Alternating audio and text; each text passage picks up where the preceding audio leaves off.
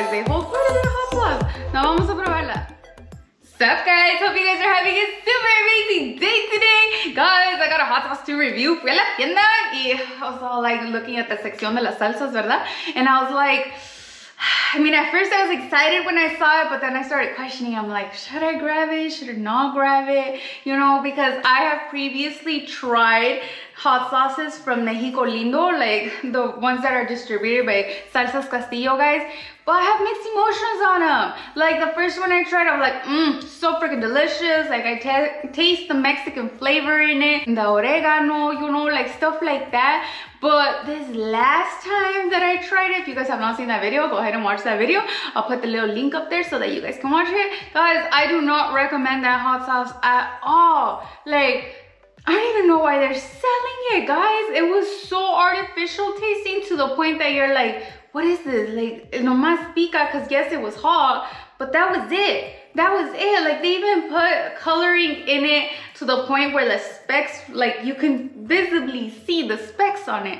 It was not appetizing at all to look at, and it did not taste great. So I was like really questioning, should I grab another one of their flavors? What if it's like the first one and it's actually really good? And I'm just basing it off of my last experience to the point that I don't want to try it. So I grabbed two bottles. We're gonna try this one first. This is the hot one, guys. And chiltepín, you guys know chile beans. Oh, they're so tiny, but pack a punch and they're flavorful. Let me read to you guys. Lo que tiene esta in the ingredients.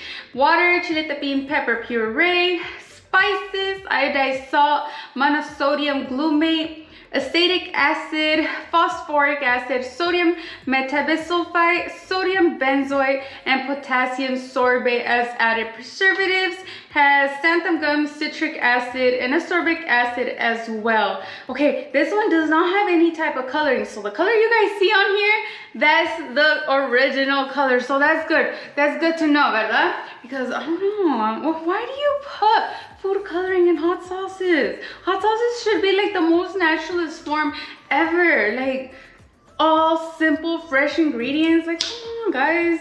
Like we're overcomplicating it. Like I don't think that coloring should be added at all in hot sauces. Just enhance the colors con tomato, make it red, con tomatillo, make it green, you know what I mean? Like you add um, celery and you know, celery actually, you would think it would make it more of a green color, but no. Like I've made some salsas and they go more on the lighter whitish colors. So you can play with different ingredients to get the coloring that you want, unless you want like a pink one. But then again, there is chiles. You can do it with the chiles too. Like there is pink chiles, guys.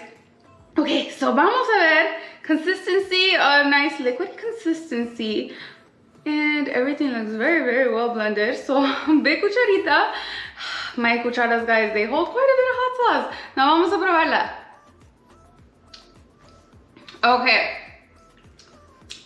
Not like my last one. I actually like this flavor. I get the chiltepín up front. Salt is fine. A little more on the saltier side, but not too bad. I know a lot of you guys like a saltier salsas, hot sauce, so it's more like for you guys, I'm more like, just want a good balance. I don't want it también to taste like a mouthful of salt, and you don't get that with this. I want to say, has like um that pepper powder taste. So I want to say the chiltepines were dry chiltepines that gives it this taste almost like when you're tasting like a hot sauce to put on your burritos or something like that you know? Like that but like way spicier. It's not bad though. It's not bad. For under two bucks i would definitely buy this one again. So this one for me is a win guys. Not like the previous one i'm telling you i don't know what's wrong with that other one maybe it was just a bad batch maybe i should re-buy it and then i also want to like try all the hot sauces at one time también so that I can tell you guys which one is my favorite out of all of them. But for now, guys, this one is pretty good. So I do recommend you trying this one out. Thank you guys for watching. You guys are so freaking amazing. Have a great day. Bye.